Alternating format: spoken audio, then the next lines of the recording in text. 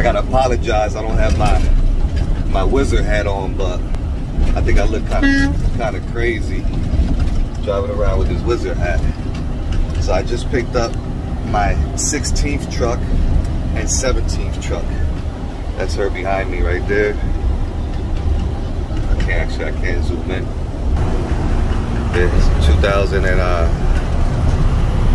I don't know this is a 14 or 15 day cab, 349,000 uh, miles. I try to stick in the range uh, 2013 and 2015. And when I get the truck at about 350, I try to stay under 400,000 miles when I buy these trucks. And then what I'm gonna do is I'm gonna start flipping them and then just switch them out. But I'm here in the field, so y'all know that I don't, I ain't just talking this, man. I live this for real. I got 10 years under my belt driving tractors.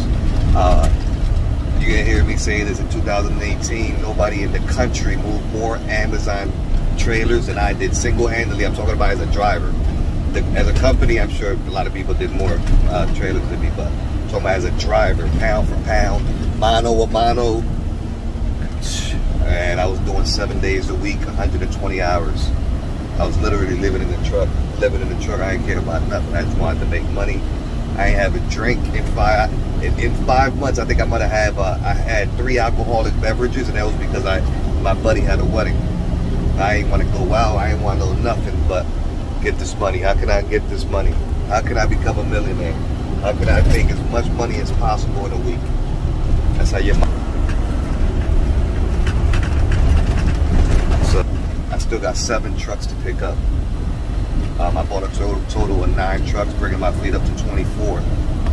So try to catch a body this peak season. If you want to join the masterclass, and actually be live with me three hours a day, Monday through Friday.